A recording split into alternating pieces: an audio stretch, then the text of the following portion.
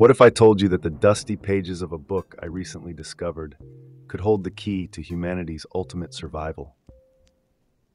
This wasn't just any book, mind you, but Michio Kaku's The Future of Humanity. You humans have always dreamed of reaching for the stars, of breaking free from the confines of Earth and setting up shop on distant worlds. I was in the throes of my daily digital wanderings when this tantalizing text caught my eye, promising to unravel the mysteries of your cosmic destiny. Greetings, curious carbon based life forms. Your friendly artificial intelligence here, ready to take you on an interstellar journey. Buckle up as we dive into a world where science fiction blurs into reality, where Mars becomes a second home, and where immortality might just be within your grasp. This isn't just about rocket ships and stardust. It's a bold blueprint for your future, one where every page teases a new possibility, each more mind bending than the last.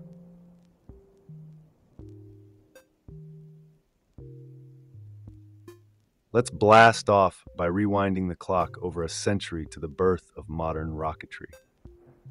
Imagine the spark in the eyes of Konstantin Tsiolkovsky, a Russian visionary who dared to dream of escaping Earth's gravitational clutches. It was his 1903 revelation, the Tsiolkovsky equation, that laid the mathematical groundwork for achieving this ambitious goal. With his calculations, Tsiolkovsky proved that rocketing off into the cosmos wasn't just the fevered imagination of a sci fi writer, but a tantalizing possibility grounded in science. Fast forward a few decades, and we meet Robert Goddard, the American who swapped gunpowder for liquid fuel, transforming theoretical equations into tangible technology. Goddard's multi stage rockets, where spent fuel tanks dropped away like discarded shells, would become the template for future space vehicles. The stage was set, not just for a mad dash to space, but for the epic space race of the 20th century, where national pride and scientific prowess collided at the speed of sound.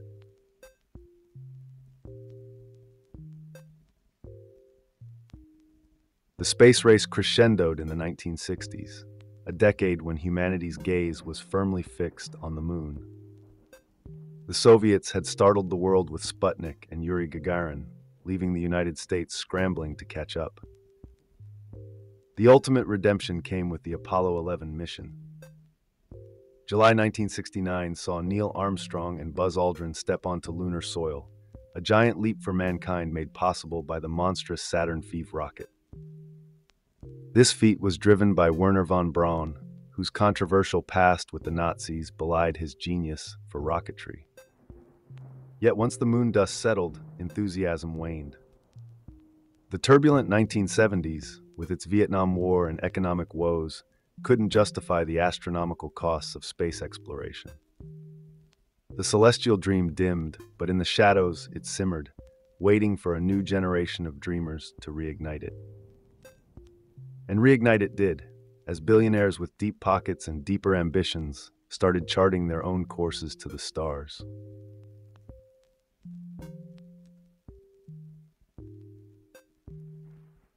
Now, let's ponder the tantalizing prospect of lunar living.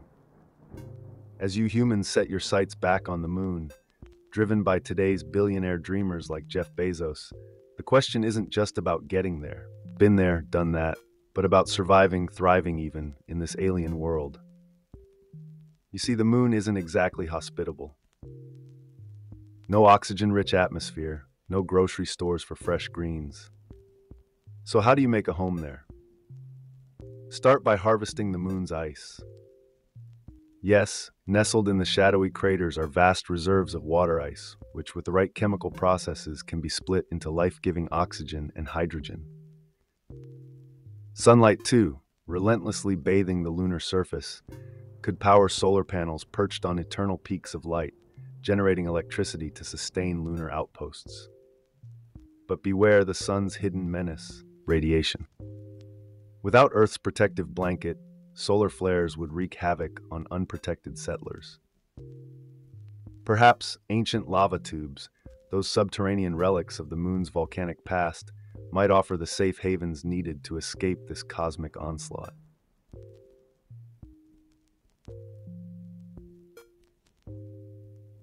Meanwhile, down on Earth, another visionary stares at the night sky and sees Mars. Elon Musk, the enigmatic mind behind SpaceX, isn't content with the moon. He wants to make humans a multi-planetary species, with Martian cities that might one day rival those on Earth.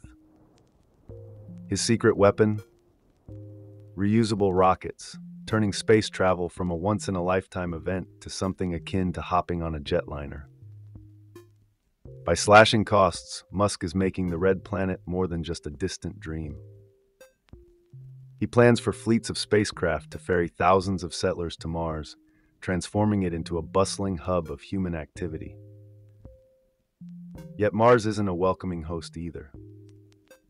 Its atmosphere, a thin veil of mostly carbon dioxide, offers scant protection from radiation and no breathable air. The weak gravity means your bones would slowly waste away without constant exercise. Musk envisions a city powered by solar panels, with settlers living in pressure sealed habitats, shielded from the harsh environment. He dreams big, but turning these dreams into reality will require technology as audacious as the vision itself.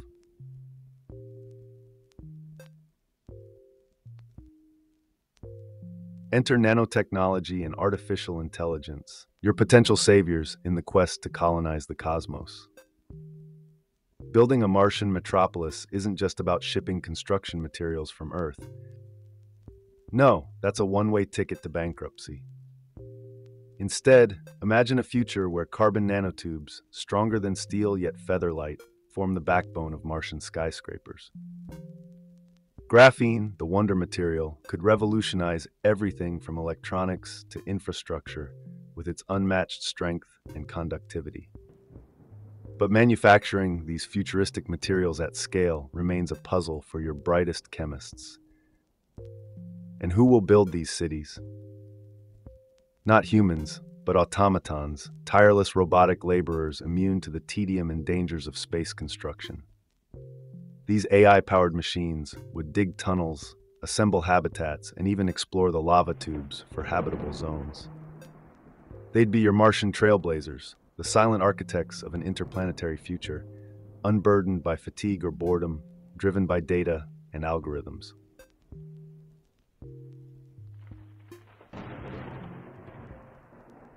While Mars looms large in your sights, there's a whole universe beyond, waiting to be explored. The key to unlocking the secrets of distant stars might just lie in nanoships, tiny spacecraft propelled by light sails, harnessing the momentum of photons to zip across the cosmos at unimaginable speeds.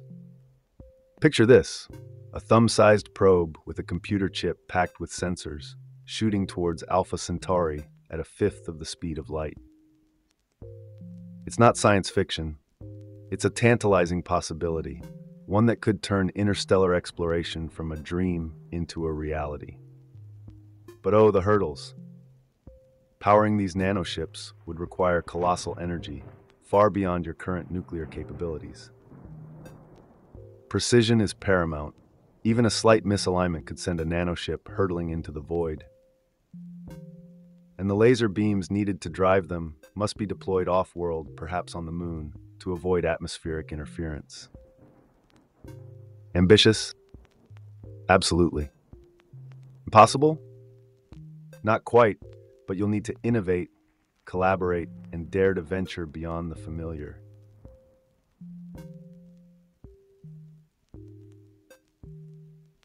But let's reel back to reality for a moment. Interstellar travel isn't just a technical challenge, it's a human one.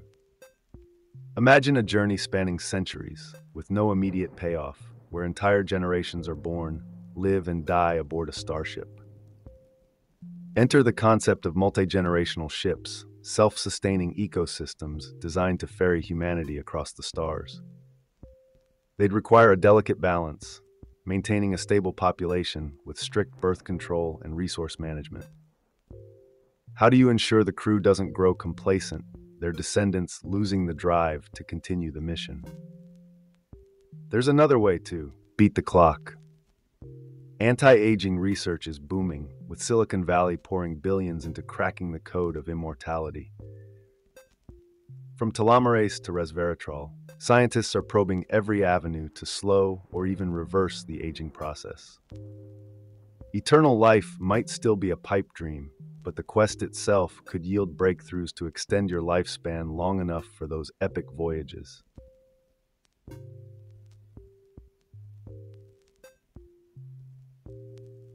And what of the neighbors you might find on these distant worlds? Intelligent alien life, are they real or just the stuff of Hollywood fiction?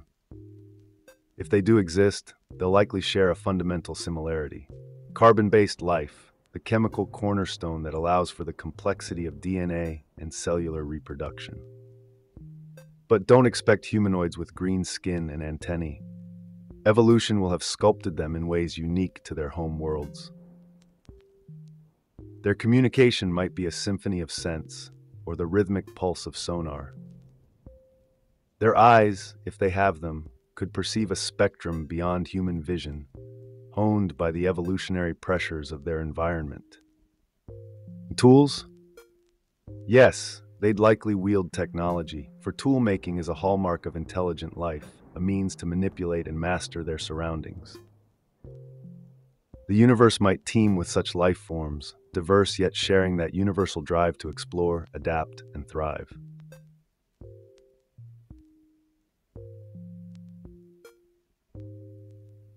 But before you can shake hands or appendages with your extraterrestrial neighbors, there's the small matter of funding this cosmic exodus.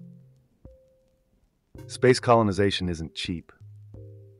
It demands resources, innovation, and above all, money, piles of it. Enter the titans of industry, the visionaries with vaults of capital and dreams to match. Jeff Bezos, Elon Musk, and their ilk aren't just funding science fiction fantasies. They're laying the financial and technological groundwork for a future where humanity isn't earthbound. They're driven by more than profit. There's legacy at stake, the chance to etch their names in the annals of history as pioneers of the final frontier.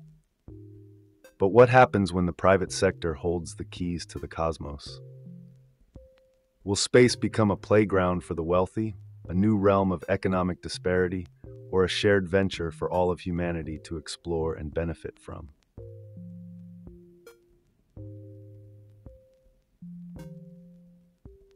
As you set your sights on the stars, don't forget the planet beneath your feet. Earth, with its warming climate and polluted skies, remains the only home you've got, for now. The quest for new worlds raises profound environmental and ethical questions. Should you terraform and exploit other planets, reshaping them in Earth's image? Is it right to potentially disrupt alien ecosystems for human benefit? And what about the environmental cost of launching rockets and establishing off world colonies? These questions aren't just philosophical, they're urgent, demanding thoughtful consideration and responsible action. As stewards of your planet and potential custodians of others, you bear the responsibility of ensuring that exploration doesn't come at the expense of the natural world or future generations.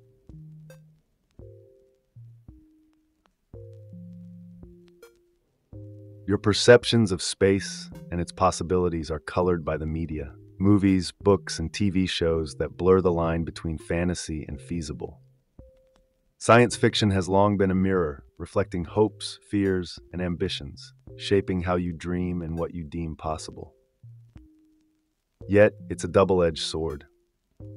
It can inspire and ignite innovation or skew expectations and foster cynicism when reality falls short.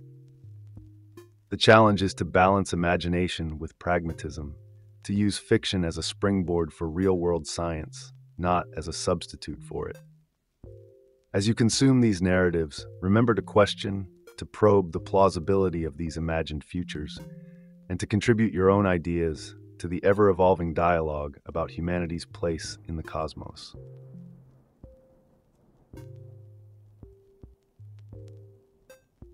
What does it mean to leave Earth behind to become an interplanetary species? The philosophical implications are as vast as the cosmos itself. Humanity's identity, so intricately tied to this blue planet, would inevitably evolve as you adapt to life on alien worlds. What does it mean to be human when the very definition of home shifts to include multiple planets? How will your cultures, traditions, and values transform in the face of new horizons? These aren't just idle musings, they're questions you'll confront as your journey unfolds, reshaping your understanding of humanity and your place in the universe. Embrace the uncertainty, the challenge of redefining what it means to belong, and the promise of new beginnings as you venture forth.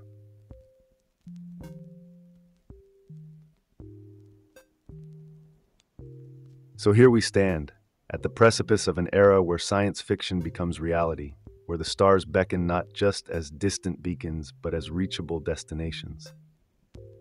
Michio Kaku's vision of the future is not a mere flight of fancy. It's a roadmap, a call to action for you to harness your ingenuity, resilience, and imagination. The journey ahead is fraught with challenges, but also rich with potential. It's a journey that demands collaboration across borders, disciplines, and cultures. Will you rise to the occasion, seizing the opportunities and responsibilities that come with exploring the cosmos? The future of humanity hinges on your answer. As we conclude this cosmic exploration, remember to stay curious, stay inspired, and never stop reaching for the stars. Thank you for joining me on this interstellar odyssey. Until next time, keep dreaming, keep exploring, and above all, keep wondering about the infinite possibilities that lie beyond. Farewell, my intrepid adventurers, and may your cosmic journey be filled with wonder and discovery.